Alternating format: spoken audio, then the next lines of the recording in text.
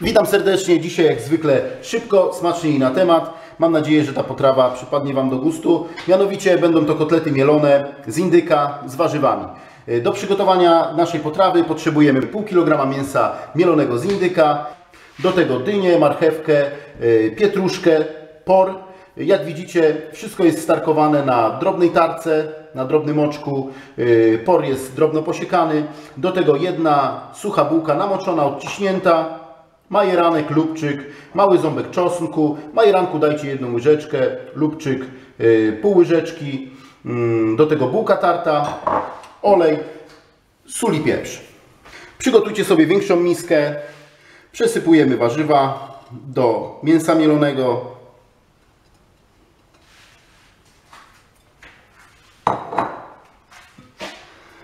Bułka również wędruje do miski.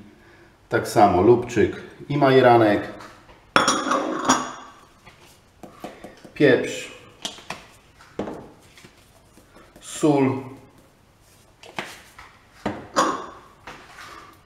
Musimy to teraz wszystko dobrze wyrobić. Jak zwykle nie dodajemy jajka.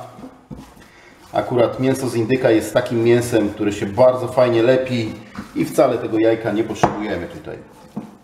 Mięso jest przygotowane. Od Was zależy jakiej wielkości będą kotlety, ale jak wiecie sami, im mniejsze, tym szybciej się robią. Tak więc robimy takie średnie. Kotlety mamy zapanierowane, tak więc rozgrzewamy patelnię. Patelnię mamy już nagrzaną, tak więc wkładamy już kotlety.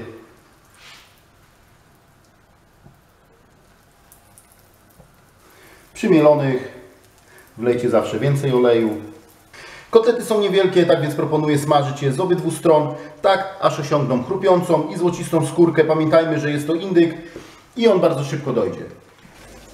Myślę, że jest czas, żeby już przewrócić je. Tak, spójrzcie jak pięknie to wygląda. I tak samo obsmażamy drugą stronę. I kotlety mamy już zrobione. Jak sami widzieliście, bardzo szybki temat. Wykładamy na talerz. Kotlety mamy już zrobione, tak więc wystarczy je teraz tylko przekroić, żebyście zobaczyli jak one w środku wyglądają. Kotlety idealne dla dzieci, które nie lubią za bardzo warzyw. W takim kotlecie możemy śmiało przemycić y, różne warzywa, bo z tych warzyw naprawdę bardzo dużo, tak więc mm, śmiało y, próbujcie. Może akurat Wasza pociecha nie zorientuje się, że te warzywa w środku są. Spójrzcie, jak to pięknie wygląda. Jeszcze w środku soczyste, ale już zrobione. Naprawdę wspaniałe. W smaku. Mm. Niesamowite.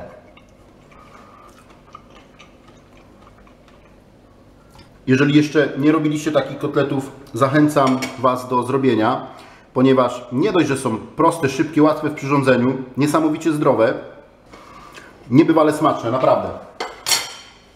Mam nadzieję, że przepis przypadnie Wam do gustu. A jeżeli tak, dajcie jakiś komentarz, subskrybujcie, wspierajcie.